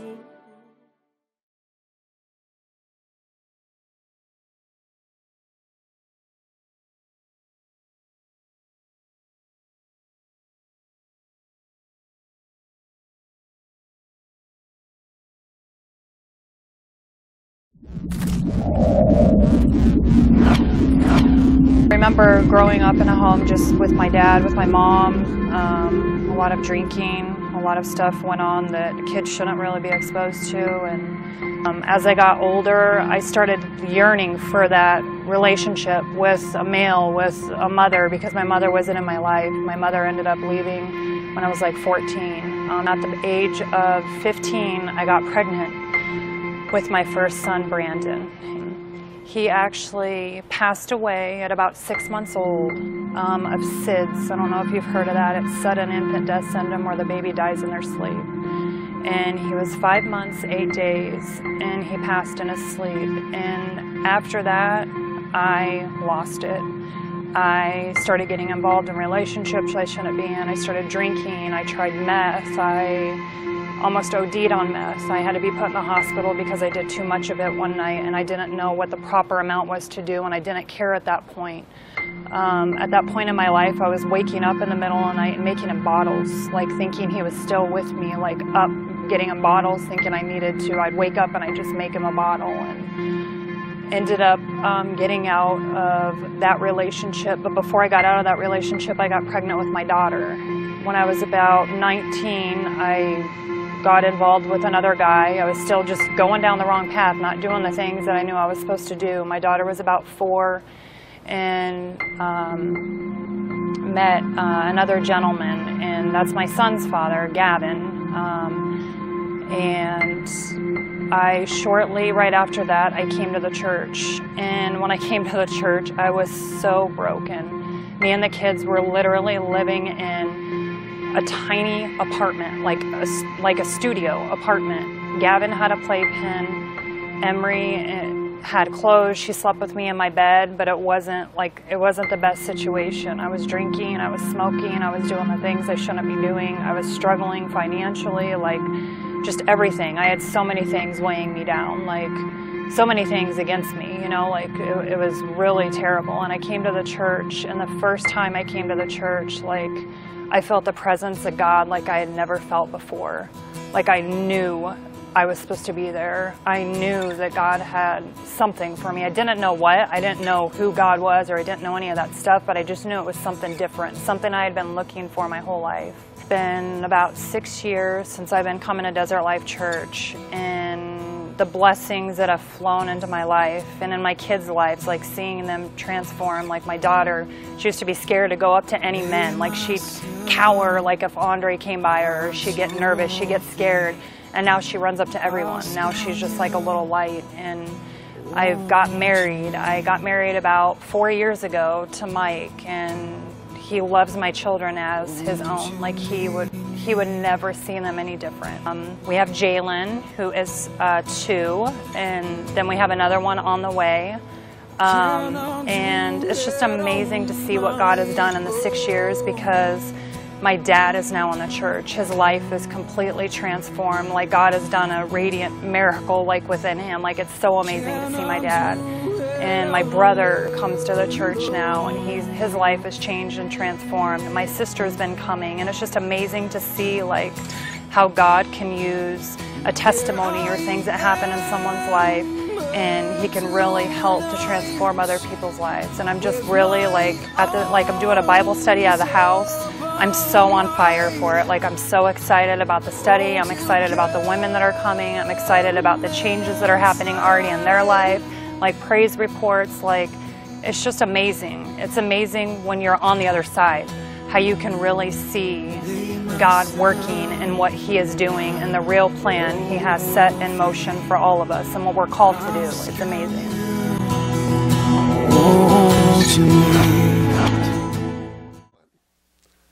What a blessing it has been to hear these precious testimonies. Ah. I pray that God has somehow used them to uh, touch your life in a special way. Uh, if you've been flipping channels and you're not sure what you're watching, it is the Precious Testimonies broadcast. We're a non-denominational outreach ministry, uh, just giving born-again Christians an opportunity to share uh, what he has done in their lives. Our purpose uh, is um, primarily to help people come to the salvation knowledge of the Lord Jesus Christ and for those who've already made a commitment to just one we call Jesus, that they would grow in their relationship with God. Okay, that that would uh, continue to prosper so that these people would become all that God would have them to become in their lives. That's a process for each of us. Now, perhaps you have never ever made a commitment to Jesus Christ. Perhaps you've never asked him to be your Savior. Perhaps you don't even know that he would like to be your Savior. Let me explain, because sometimes we Christians assume that everybody on planet Earth has clearly heard and clearly understands why Jesus is a Savior to so many, why he would like to be your Savior. Jesus Christ, the Bible says, the New Testament Bible says, was fully God before he ever came to earth in the form of a mere man. Okay? In fact, the New Testament Bible clearly states that he is the second person of the eternal Godhead. The eternal Godhead being God the Father, Jesus Christ the Son, and then the Holy Spirit, or the Holy Ghost, if you will. And Jesus, who the Bible says always was, in fact, it was through him that all things have been created, and nothing has been created except by him and through him. Of course, he worked with the other two persons of the Godhead, we, we can assume safely. He was, uh, he came down from his glorious position from heaven and came down into the form of a mere man. He lived this life as a mere man, not as God, but as a mere man. He purposely set aside his Godhead, his deity, so that he could be tempted like every other human being ever has or ever will be tempted to sin. And we're told in the New Testament Bible that he never sinned once. And so, because he was the only acceptable sacrifice to God the Father and, of course, the Holy Spirit, he was the only perfect man sacrifice that God would accept to pay the penalty for all of our sins. And that is exactly what he did. He allowed himself to be uh, punished and bruised, beaten, tormented beyond anything we can imagine, and then hung on a cross, whereby taking the punishment each of us are due for our sins. And so he then died. He resurrected three days later and then went back into his glorious position whence he came from before. He will return again to accomplish some things that need to be accomplished. We won't get into that in this setting. But suffice it to say that God himself came from heaven when he didn't have to, died for us, taking all of our punishment so that on the judgment day, when we give an account to God, which we all will, we can be free from God's wrath or God's punishment so that we will get to spend eternity experiencing eternal joy with God. God wants that for every created person on this planet. But he gives us a free will choice in the matter. We must ask him for it. We must trust him for it. Okay? It's a free gift. This free gift of pardon. Free gift of forgiveness. That, my friend, is what makes him the Savior. He saves us from the penalty of sin that God has decreed is against every human being. And somehow it has to be nullified. Well, Jesus the Savior is the one who nullifies it. And so when we ask Jesus to be our Savior, we're asking him to save us from the penalty of all of our past, present, and future sins, which the Holy New Testament Bible says he does when we ask. And so if you have never ever asked this Jesus to be your Savior, friend, I want to make it as easy as I can for you. You don't need anybody to pray for you. You can pray for yourself. It's a matter of saying, well, Jesus, if you're the Savior, uh, save me from my sins. Now show me what you want me to do from here. It can start out as simple as that, okay? And God knows your heart, you know. I mean, God, God knows whether you're serious about all of this. God knows whether you're going to give your life to Him or not after this moment, after asking Him to be your Savior. And so that means that He desires to set up lordship in your life. He desires to help you become all that He desires for you to become, starting out in this life, but for all eternity. And we've run our own lives up till now Okay, we we've made made our own decisions, and most likely, you're probably not very happy with the results of the decisions you've been making up to this point. And so now, God is looking to see if you're willing to let Him help you make decisions that He has a power to make happen as He wills. You see, we can either go against God's will or we can get connected with God and go with God's will. God wants us to go with his will, but he won't force it upon us. We must ask and we must patiently trust as best as we can that his will will be manifest to us and unfold in our lives once we've made him our Savior. And so that is the process of growing in our relationship with Jesus Christ.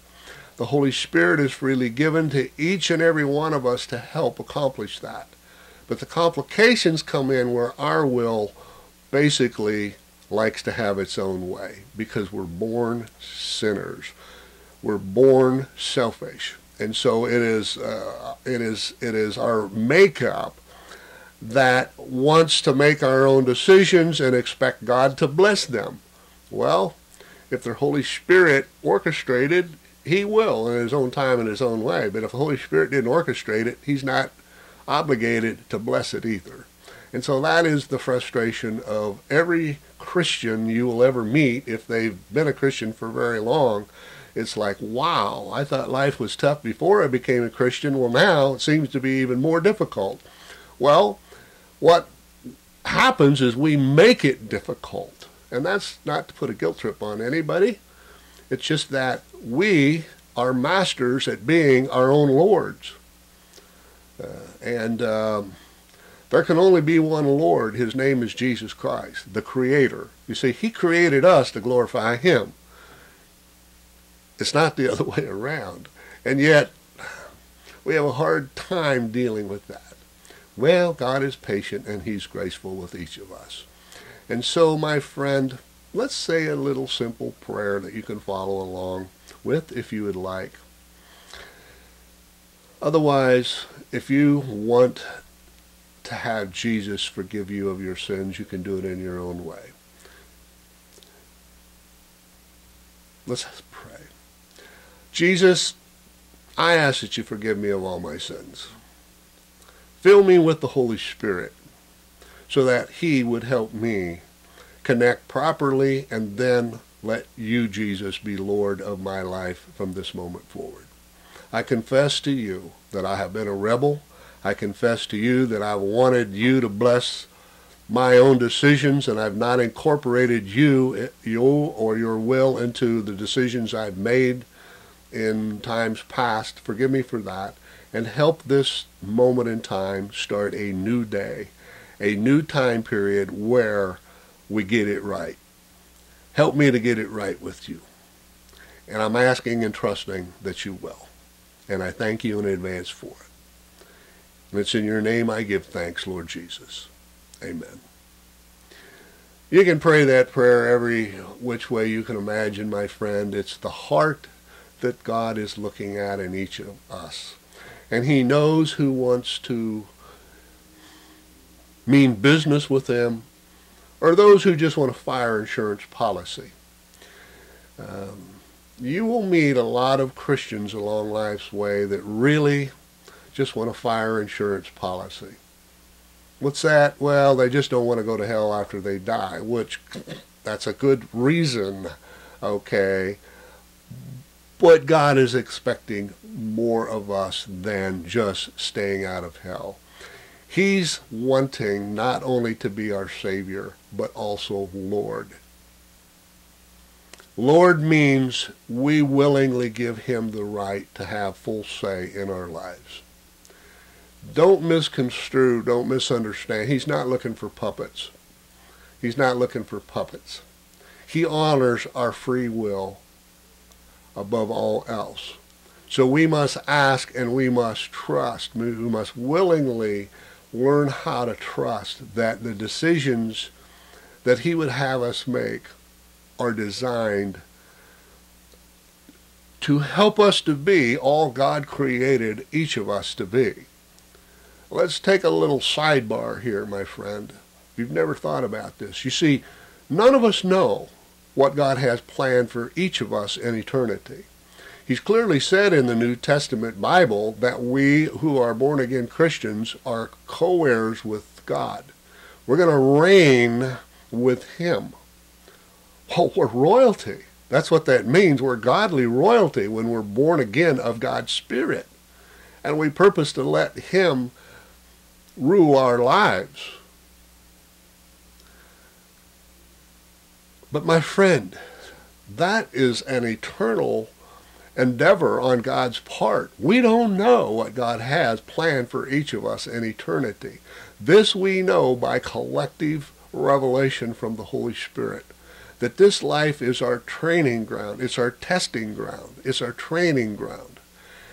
And God trains us after we become Christians to become more like Jesus Christ.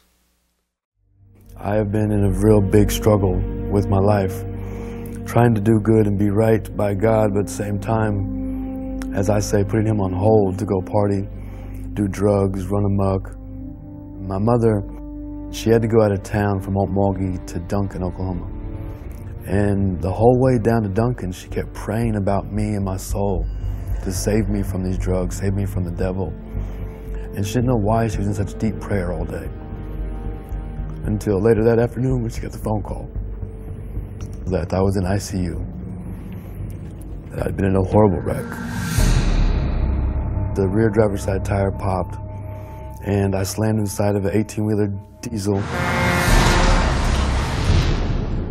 spun around and went underneath the trailer, and it ran over the car. I was crushed down in between the floorboard and the steering wheel, and it took 45 minutes for the paramedics to get me out of the car with the jaws of life. When I woke up in the hospital, my entire body was swollen from head to toe. They had to trach my throat for me to breathe again. I broke my left clavicle, broke all my right ribs, many fractures to my pelvis, ruptured spleen. This last year of my life had gotten really hard. I'd been divorced for over three years. I only got to see my girls when my mother was in town. And we would fight a lot because she was trying, she saw how bad I was on drugs. I was hard-headed. She would be talking to me about drugs. I didn't want to hear it, of course, because I was in denial. I would run to women. I would run to parties. I would run to drugs. I would run away from God. And she prayed really hard again and said, I give it all to you, God. Save him. Save my son. Waking up after a month of being in ICU, I could not walk, I could not talk, and I thought I could write, but it was all scribble. And when I woke up, I was, like I said, addiction free. Didn't want to do any drugs, didn't want to smoke any cigarettes, and I don't feel that pull like I used to. I used to feel a pull every morning when I woke up from the devil, and now it doesn't seem like that anymore. The Wednesday before the Believe program. I could not walk, and it seemed like I was the last one there with Pastor Sharon just praying over me and praying over me. And then that Sunday, I rushed down because I saw Pastor Sharon was down there. Look at this brother. Praise God. We just prayed the other night for him. Praise God. He came in a wheelchair here to the service, and uh, he got run over by a diesel truck. He hadn't been able to walk, and he's been believing God that he's going to walk again. Look at this. Let's all rejoice. God still works miracles. Glory to God. Two weeks later, I got out of my wheelchair for good. Every day gets better and better. God is constructing me back to where He wants me. It's just amazing how the transformations happened, how good I feel all the time, and how different I look at life, how precious life is.